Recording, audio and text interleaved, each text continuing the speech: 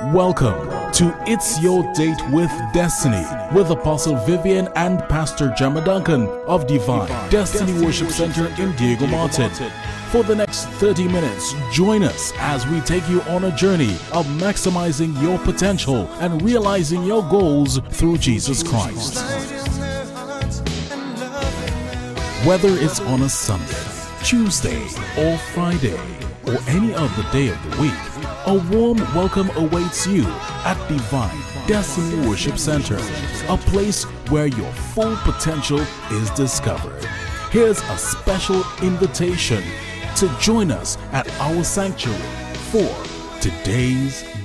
Above all, prosper and be in health, even as your soul prospers. God says to man, his first command, he says, Be fruitful, multiply, replenish the earth. God deals with one of his sons, as it were, Joseph. He is in slavery. He is a slave to Potiphar. But the scripture says that Joseph prospered in his master's house. That sounds really like an oxymoron because there is Joseph the slave prospering in his master's house. Slaves don't own anything, yet the scriptures say that he prospered. It means then that prosperity has greater dimensions than we have been made to believe. And during this month, we will be exploring different dimensions of prosperity.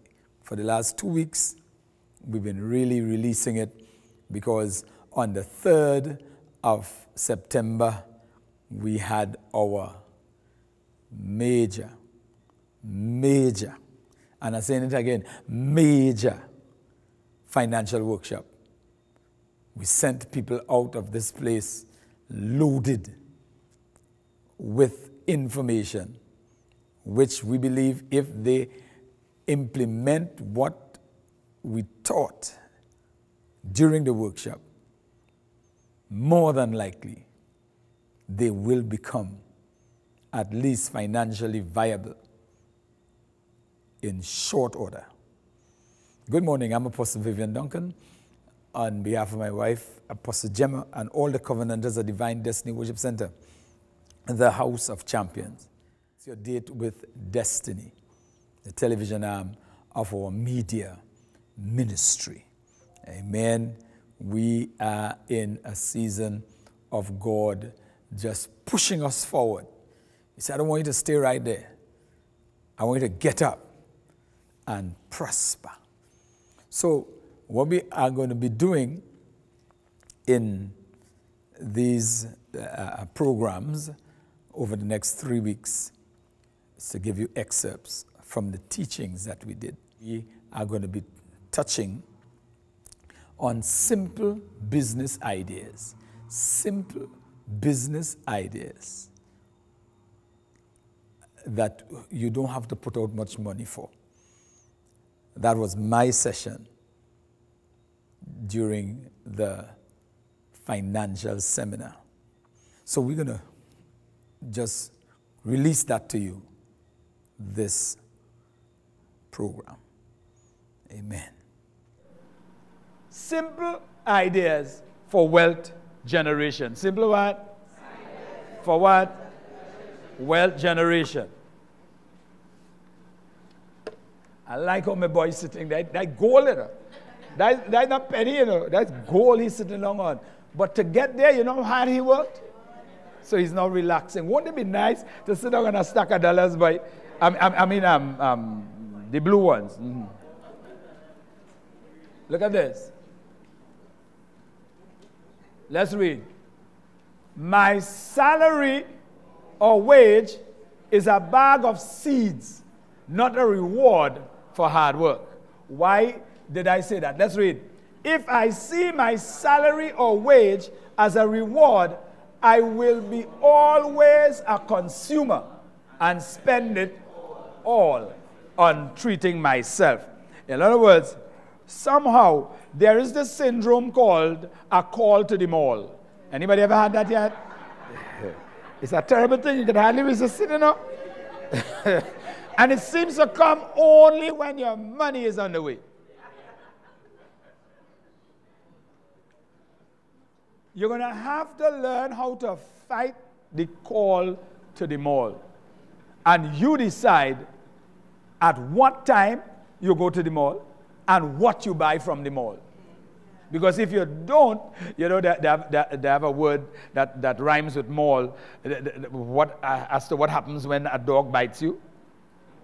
You are mauled by the dog. Well, you'll be mauled at the mall. All your finances will disappear. Why? Because I work hard. Hear the argument. Hear the rationale. I work hard whole week, whole month. I deserve a reward. Nothing wrong in that. But do you have another stream of income to make up for the deficit that you surely will have if that's the kind of attitude you, uh, you, you, you, deal with uh, or you work when you get your money, your salary. Your salary is not a reward. Let's see what it is. Let's read. If I see it as a bag of seeds, I will seek ways and means to invest it. Because once you have a seed in your hand, your, a seed makes a demand on you.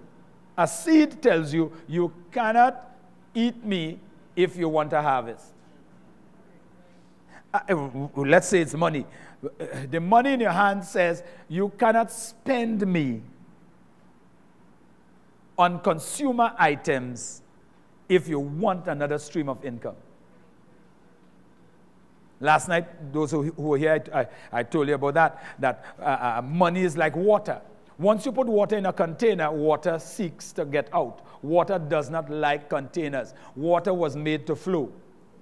The molecular structure of water says, give me free expression. Let me move from a gradient high up to the sea, low down. If you put water in a tank, water going to probe that tank to see the integrity of the material. And when it finds a weak spot, it going to put pressure on it until a leak shows up. And if you don't fix the leak, it's going to empty out. After all that effort to get the water, you lose it. Well, money is the same way.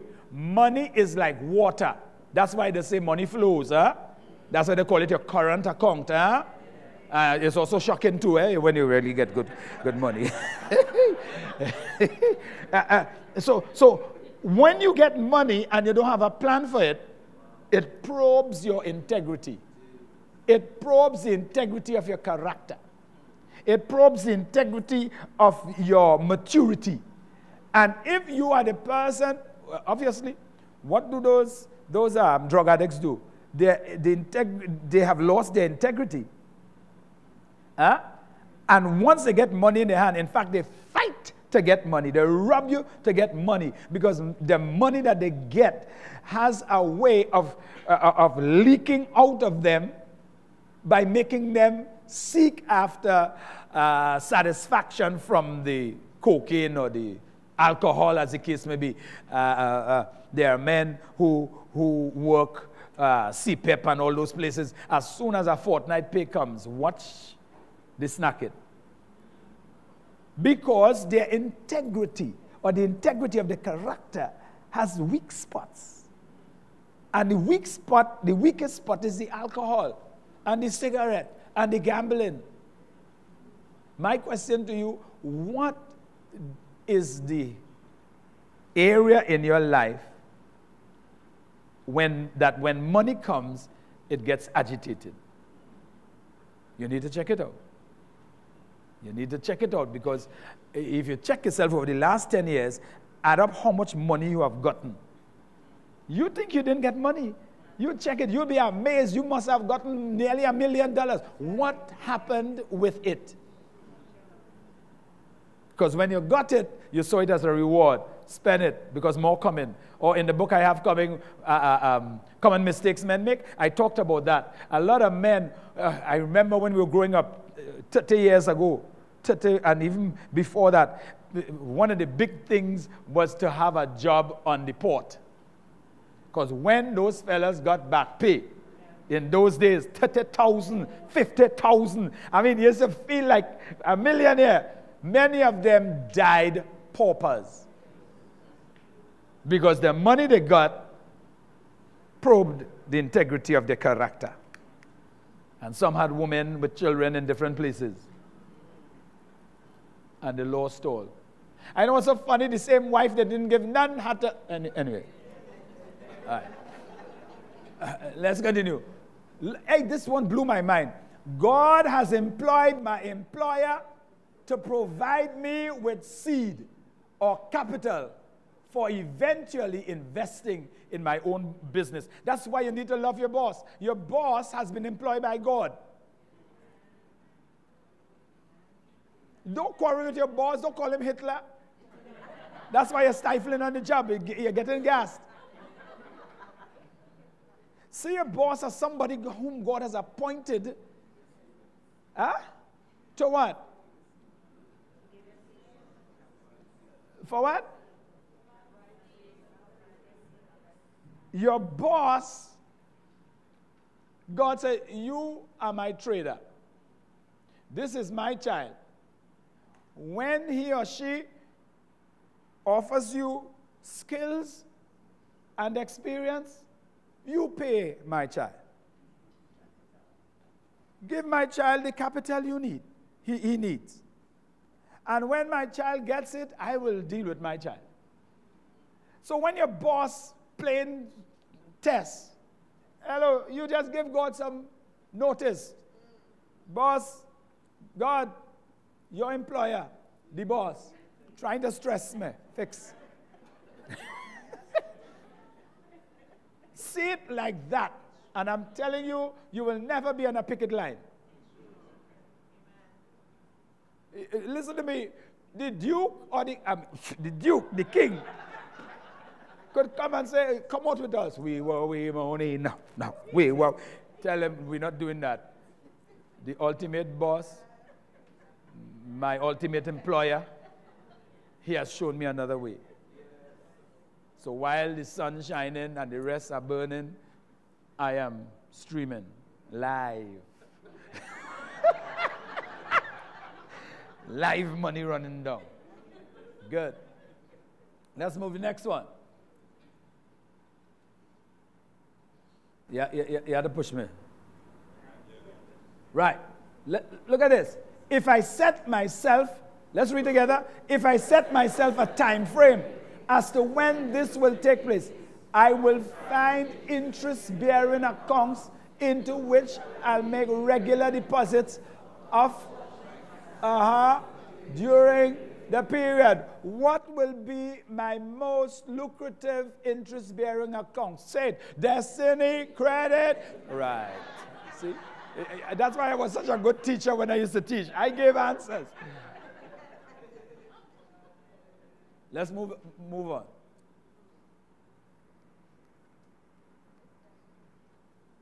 Right. No, we missed, we missed one. Take me back. Right. Let's read. I will have a nest egg to use as collateral for seeking a loan for a financial institution. That's a, one, one, of the things we, we talk about is setting a five year plan. If you don't have cash coming in readily as, uh, uh, uh as other people have, every month you're turning over uh, a good bit uh, and, and uh, you have plans to invest later. Some of us, with the way the money is moving, we could do it now. But the rest of us, going to have to take a period of time and you're putting the money where you would not touch it. You're putting the money where you would not? Right. Destiny Credit Union is a safe place. You can tell you, hallelujah, it's guarded by angels, sword. All right.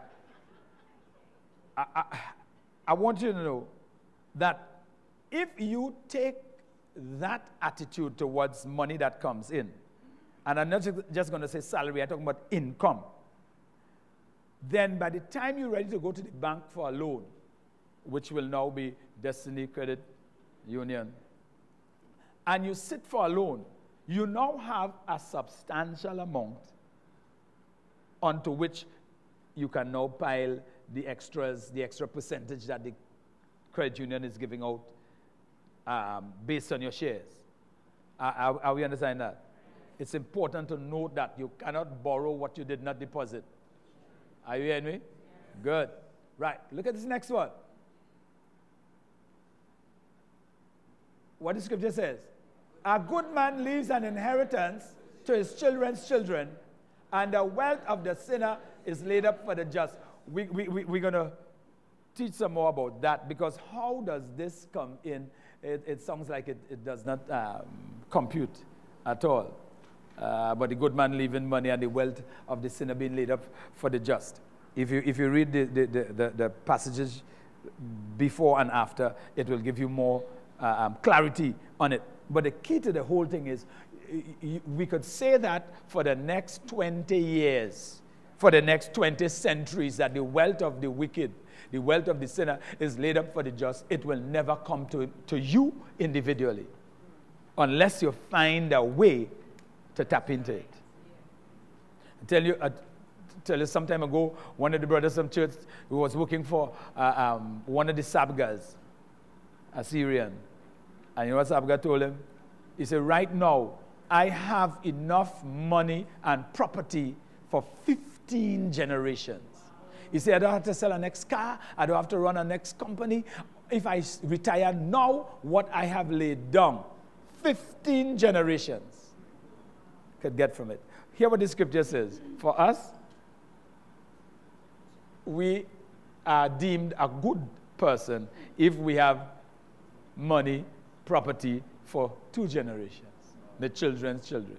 That man have for 15, and they don't serve God like we do. But they believe the Bible. They know how to sow. They know how to work with one another. Notice that they hardly ever intermarry, they intra-marry. Money begets money. Eh, and stop believing that God will send a rich man to marry you or a rich woman. Lord, I'm praying, Lord. There are many out there, God, who need to know you. And they need someone like me, God. Yeah, yeah. Mm. yeah. Let's read this. As righteous and prophetic as I may be, the wealth of the sinner will never come to me if I just sit idly or even if I pray and fast every day for the rest of my life. Somebody told us to be poor, and then they came over here and say, being poor is no problem. God has the wealth of the wicked waiting for you. It's coming. I feel it, it's coming. All you need to do is to sow a thousand dollars today. I feel it. That thousand dollars is the key, the channel from the sinner. It ain't reaching. If you have the wrong attitude, it will come, but not to you. You're going to land in my yard. Because, let me ask you the next big question that's going to make you wake up and hold your head and ball. If the Lord allows you to get a million dollars right now, what plans do you have for it? Oh, a hen roti. uh, because most of us, we only have wishes. We don't have plans. Think about it. Look at this next one. Real wealth transfer demands that I must provide a basket for collecting it. Watch this. The wealth of the wicked is that some mysterious thing. How do people get wealthy? Business people get wealthy because people come to buy from them. Therefore, it is the people that have the money, not the business people. Therefore, it is the people that have the money, not the bank. Therefore, if the wealth of the wicked comes from the people who go to borrow or who go to buy or who go to spend in their establishment, then I must find a way of diverting those people on their way to, of intercepting them on their way to, because it's people that have money. Even the bank knows that. Even Monday morning, everybody who has an account, eh, let's say in Republic Bank in Starlite, decide to go for the money, I guarantee you in five minutes after it opens, they will shut down the system. Why? Because they know the money they have is in trust from the people. Well, then, what I need to do is to set up a business or set up some type of establishment where, while on their way to buying from overso, where they are custom going, or depositing money overso to where they are custom going, they can now cross the street and come by me. Destiny anointing oil. Every time we come to the set, we anoint our hands and release faith. We release anointing.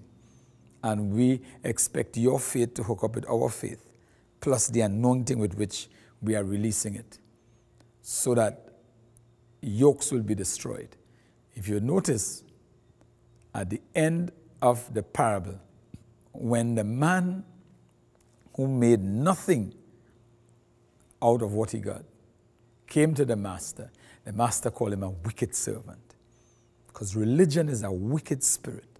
It makes people with potential end up with nothing. And my declaration to you today is that potential is God given, but success, prosperity is my responsibility.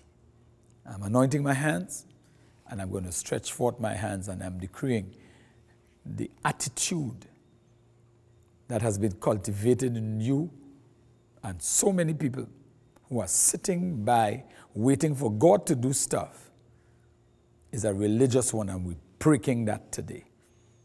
Your potential will spring forth. Amen. I'm stretching my hands forth and I'm decreeing right now a new mindset concerning prosperity, a new mindset pertaining to advancing yourself financially. I break the spirit of lack thinking. I break the spirit that makes you believe that God admires you because you are poor. I prophesy to you uh, that poverty is not a, a good testimony of the God that we serve. I prophesy that you shall prosper and God is going to get the glory. He has given us the power to get wealth so that what? He will fulfill the covenant that He made with our fathers. Receive it right now in Jesus' name. Amen and amen. We give God the praise for his goodness. Amen. Accompanying the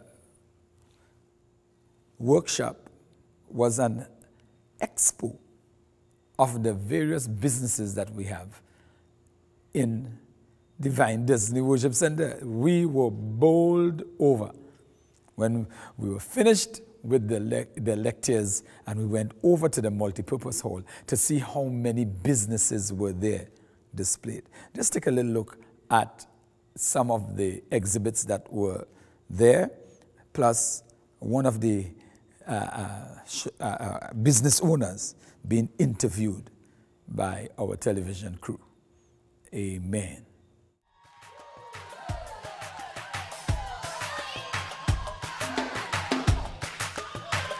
Hey. Oh, yeah, yeah. Here we go. I see the over the horizon, and I'm grateful. Because of your face any challenge that comes my way.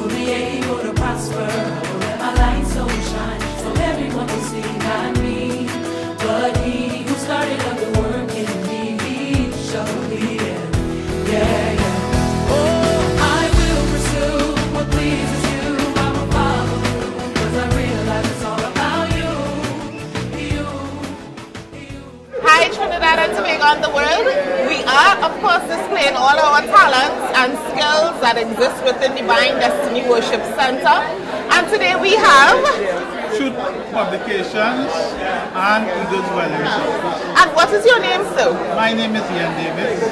And tell us about some of the things you have displayed here. Wellness Service, where all our work is displayed here. And we have books, Bibles, children literature. mentioned welding, and of course you mentioned books, bookmarks, etc. So you, you have a good mix of, of possible gifts that you can give for Christmas, all the early bird shoppers. And what is the name of your business again?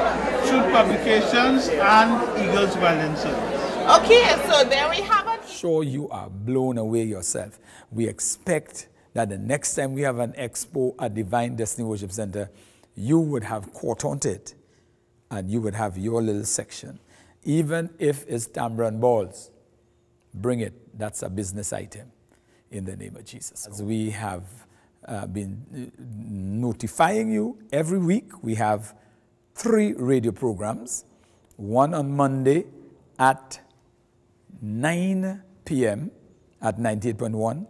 One on Tuesday, it's called Living the More Abundant Life on 107.1, sponsored by Bees Ice Cream. And one on Friday at 3 p.m. on 98.1 again, Ask Pastor Gemma. We want you to just log in to those programs and receive. Amen. And this is weekend. Uh, so this Sunday we are having another, I mean, powerful service. These last few months since the year began, and even before the year began, and even before last year, the glory of God is so strong in this place. My word. He is not just visiting with us, He is dwelling among us. Why not come and walk in the same glory in which we are walking? Amen. So until we meet again, I'm Apostle Emmanuel Vivian Duncan, and on behalf of my wife, Apostle Gemma, and the Covenanters of Divine Destiny Worship Center, the House of Champions, declaring to you, you began life as a winner, don't live it as a victim or die as a loser. You are a God idea, because when God made you, He had destiny on His mind. God bless you until we meet you at Divine Destiny Worship Center. Amen. God bless you. Next time on Divine Destiny Worship Center's program, this program, it's your date with destiny. You will hear So let's look at the definition of a successful business. A commercial, profitable enterprise that works without you. Think about that for a moment, or repeat it. A, a- a successful business is a commercial, profitable enterprise that works without you.